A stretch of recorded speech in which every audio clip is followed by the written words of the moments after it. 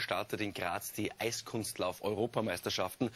12.000 Karten sind schon verkauft. Das Publikumsinteresse sei enorm, heißt es aus der Steiermark. Unsere großen Medaillenhoffnung, das sind diese beiden, und zwar Miriam Ziegler und Severin Kiefer.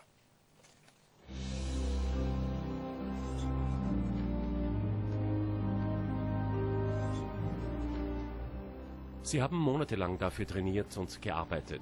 Am Mittwoch wird es ernst. Dann beginnt für Miriam Ziegler und Severin Kiefer der Paarlaufbewerb bei der Europameisterschaft in Unterbremstetten. Natürlich merkt man, dass, dass es bald soweit ist und wir hier aufs Eis gehen dürfen und laufen dürfen. Aber ja, es, es ist nicht anders im Moment als vor, sonst vor einer Europameisterschaft und ich freue mich schon sehr drauf, wenn es endlich losgeht.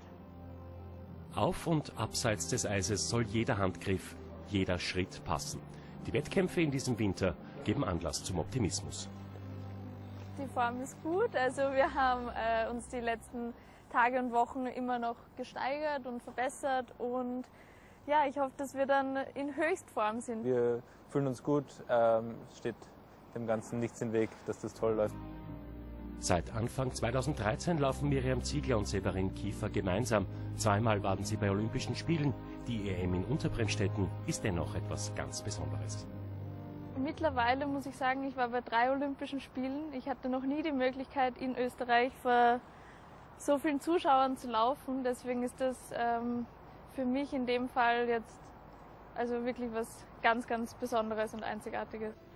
Morgen geht es in der ehemaligen Davis Cup Halle los mit dem Kurzprogramm. 12.000 von 17.000 Karten sind verkauft. Die Halle dürfte also voll sein, wenn es vielleicht um die erste EM-Medaille für Österreich seit 37 Jahren geht.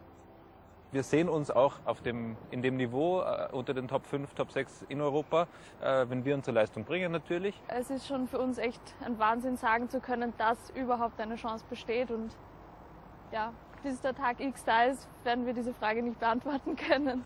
Im Eiskunstlauf hat Österreich bisher 44 EM, WM und Olympiagoldmedaillen geholt. Vielleicht kommt in Unterbremstetten jetzt eine dazu. Wir drücken ja die Daumen.